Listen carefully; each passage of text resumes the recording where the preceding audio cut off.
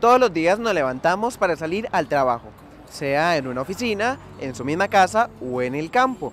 Pero hay un trabajo en particular que no muchos estarían dispuestos a hacer.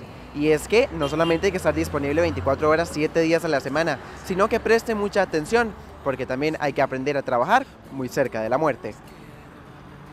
Existen oficios que alguien tiene que hacer, pero que muchos no lo desean pues irónicamente ello representa ganarse la vida trabajando diariamente con la muerte, y quienes son responsables de que el recuerdo de los seres queridos perdure entre los vivos de la mejor manera. José Acuña tiene más de 35 años dedicándose a embalsamar cuerpos en su funeraria para que los familiares se puedan despedir de sus difuntos y se lleven la mejor impresión posible en su último adiós. El trabajo acá es eh, embalsamar los cadáveres en caso de que el cliente así lo solicite o en, una, en otra ocasión pues hacer la autopsia en caso sobre todo que el cuerpo vaya a ser incinerado, que es un requisito primordial para llevar a cabo la incineración.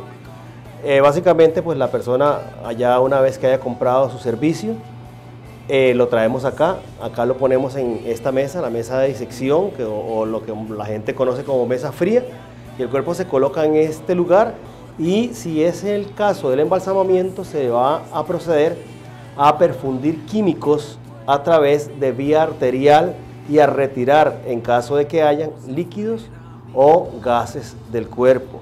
Aunque sea un tema difícil para muchos, don José cosecha en su vida grandes enseñanzas que su trabajo le ha dejado.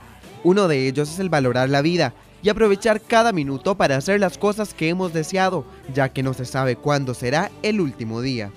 Y yo le digo muy dolorosamente, no sabemos si nos vamos a casar, no sabemos si vamos a tener una casa, pero sí todos sabemos que un día nos vamos a morir.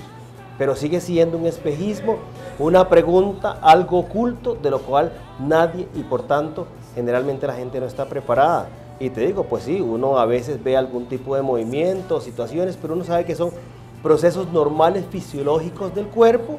Un trabajo digno como el de todos, pero sobre todo admirable. A él y a su equipo que están disponibles 24 horas 7 días a la semana al servicio de quien pasa un momento difícil.